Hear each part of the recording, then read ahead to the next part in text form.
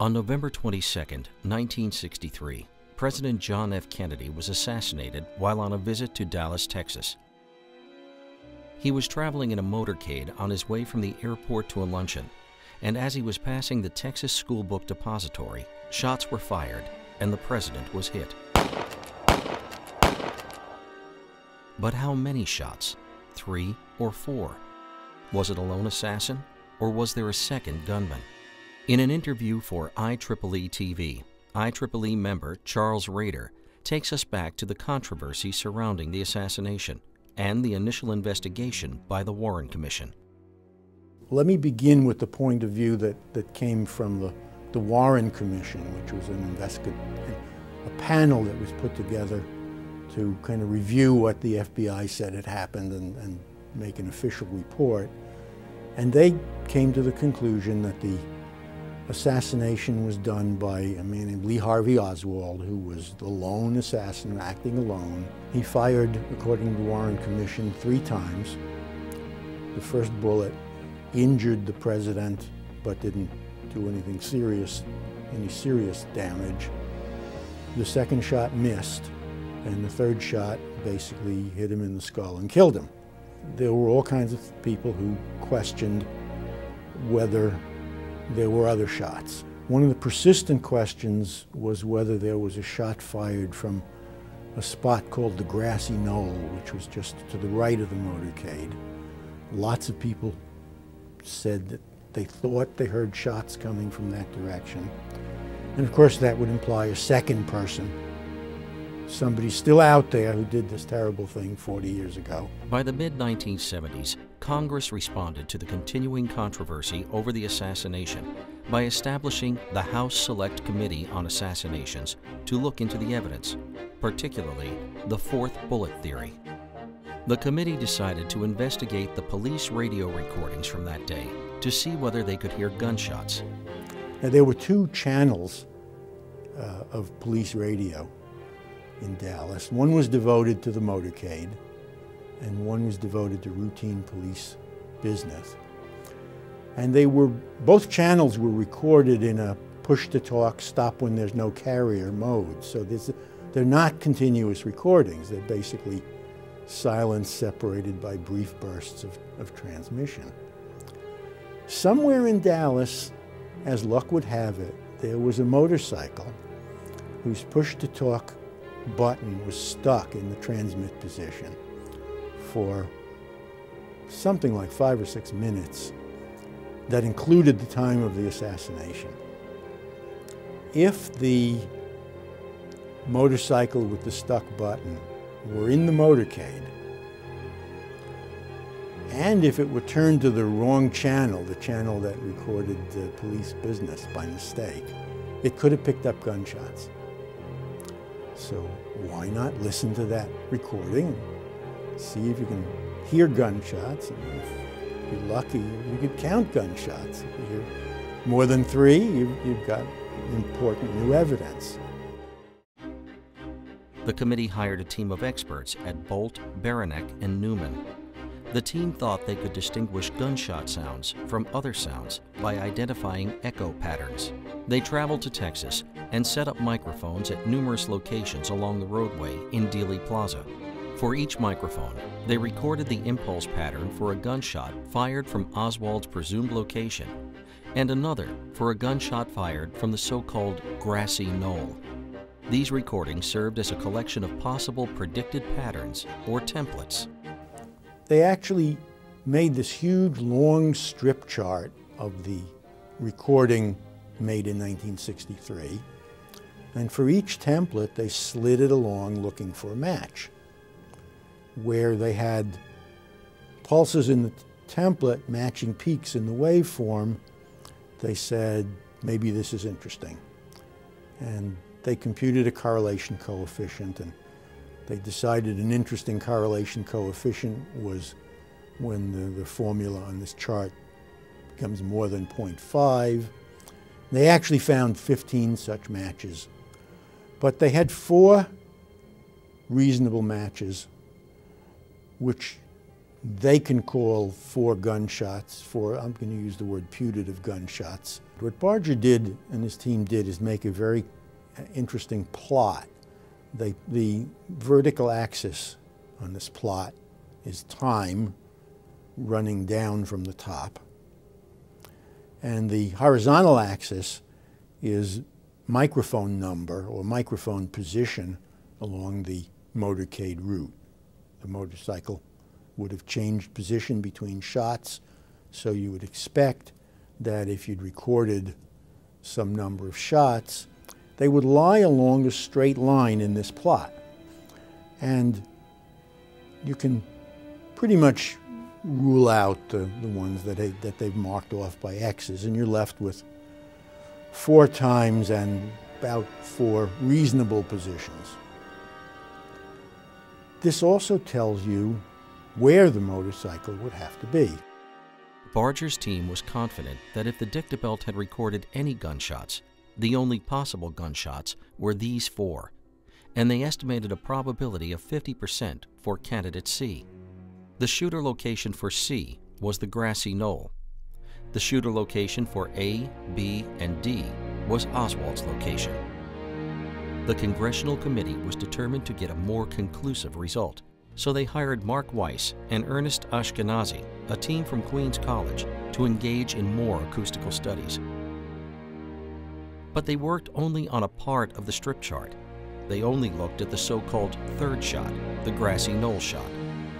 And they figured out a combination of a shooter position, a microphone position, speed of sound, even took the microphone velocity into account, and the speed of, of which this uh, recording was being made, the device called a dictabelt.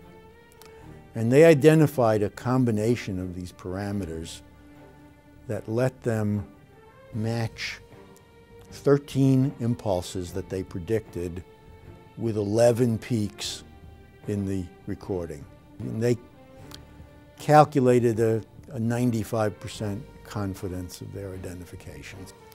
Right away, you can find some problems with their confidence because the shot, the, the, the piece of the record that they identified as a shot was one that was about 200 milliseconds earlier than the Barger team at BB&N had found.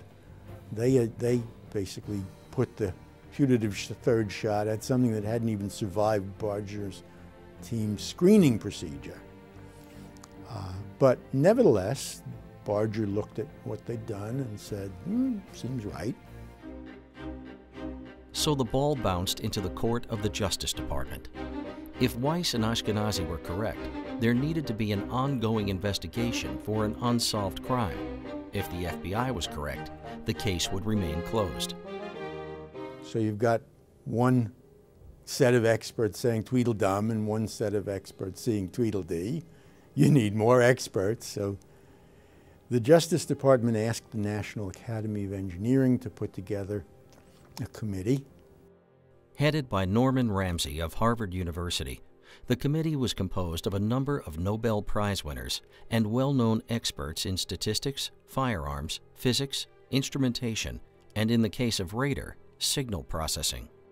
Called the Committee on Ballistic Acoustics, an obscure name chosen to keep assassination fanatics from hounding the members with various theories, its mission was to analyze and critique the methodology of the previous researchers.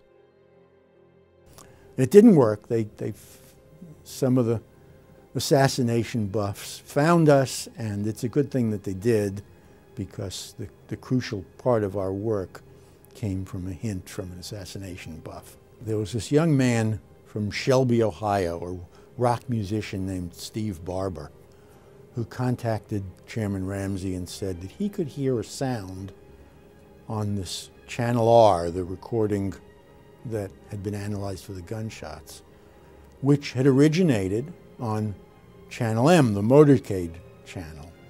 And it's Sheriff Decker saying, hold everything secure until the homicide and other investigators can get there.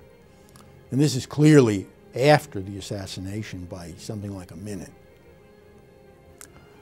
Now, If you listen to that sound on channel M, the motorcycle, the motorcade channel, it's unmistakable.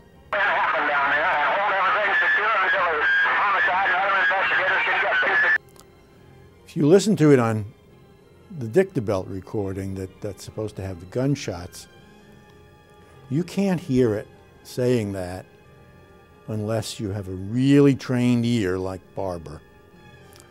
Or unless somebody tells you what it says, and then you can hear it.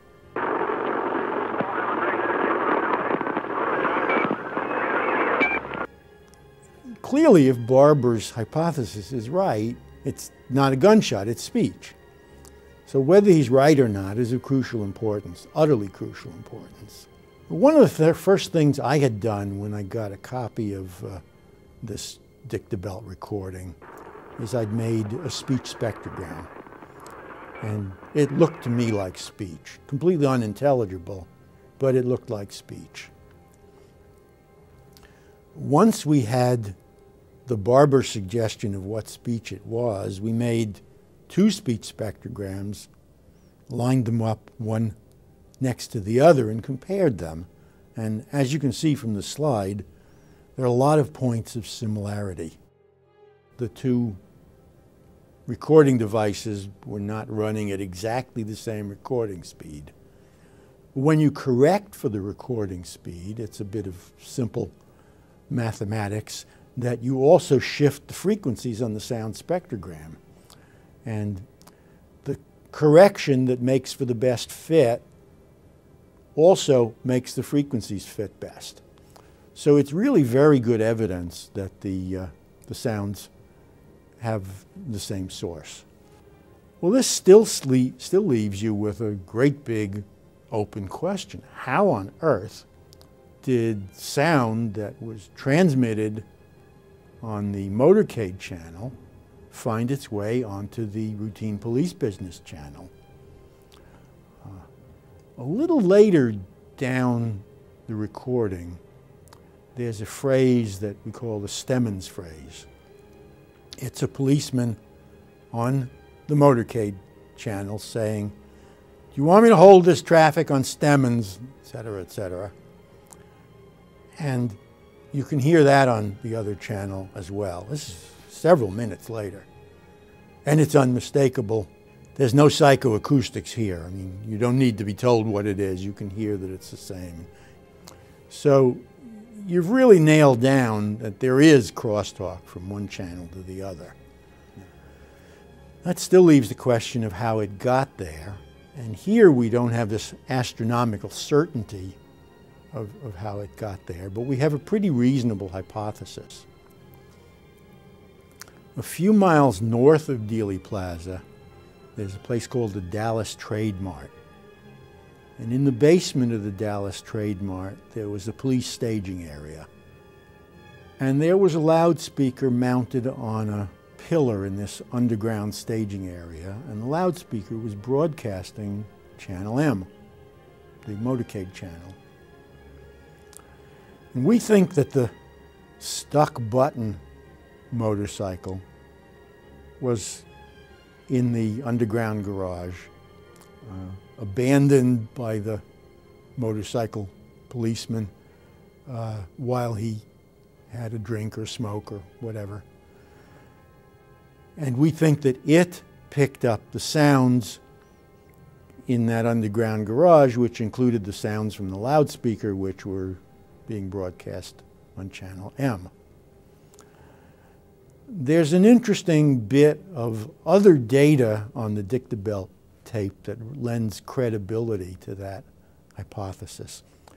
Several minutes after the assassination, there are siren sounds. And the sirens approach. You can tell they're approaching because there's a Doppler shift, which makes them seem higher pitched and they're getting louder. And then they suddenly switch to lower pitch and begin to get lower, indicating that they're going away. So the, the motorcade creating these, these siren sounds is approaching, passing, and moving away. So this is not, you know, astronomical proof, but it seems reasonable. At least it's it's a working hypothesis. The committee wrote a draft report, and they showed their work to the previous two committees for their suggestions and blessings, which they received. Our findings were actually very well received by a community of interesting people. Uh, the original researchers, Barger and company, uh, pretty much agreed with what we'd done. And many of the assassination buff community in their various meetings and newsletters and correspondence seemed to agree that we discredited the acoustical evidence. Uh, that doesn't mean that everybody agrees, and there's still ongoing, there's still a group of people who think we were wrong. There are even people who think we were in on the conspiracy, but not many. Charles Rader is but one of thousands of people who have studied some aspect of President Kennedy's death. Despite the finality of official government reports substantiating the three bullets, one gunman theory, thousands more remain skeptical and continue to question.